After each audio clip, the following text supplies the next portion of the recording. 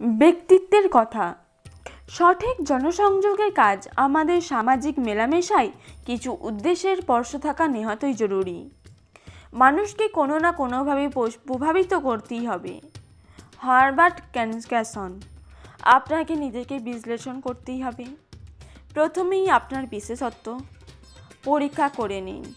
ভালো কি মন্দ সেটা বিচার করুন। অভ্যাসগুলোর দিকে তাকান। আপনি ভাবাবেগকে কতখানি নিয়ন্ত্রণ করতে পারেন দেখুন। অবসর সময় কীভাবে কাটে তাও দেখুন। কাজকর্মে কেমন দক্ষ তাও দেখে নিন।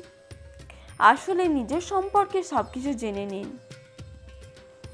যে বিশেষ ক্ষমতায় কোনো বিশেষ একজন অন্যকে প্রভাবিত করতে পারেন ঠিক, সেই ক্ষমতাকেই আমরা সংক্ষেপে ব্যক্তিত্ব বলে থাকি। Things we should know about mount. এই ভিডিওটি আপনাদের যদি ভালো লেগে থাকেন তাহলে অবশ্যই লাইক করবেন। পরের ভিডিওটি আমি কী নিয়ে বানাবো তা কমেন্ট করে জানান। এই রকম ইন্টারেস্টিং বাংলা অডিও বুক শোনার জন্য চ্যানেলটিকে সাবস্ক্রাইব করে বেল আইকনে ক্লিক করুন। Thank you.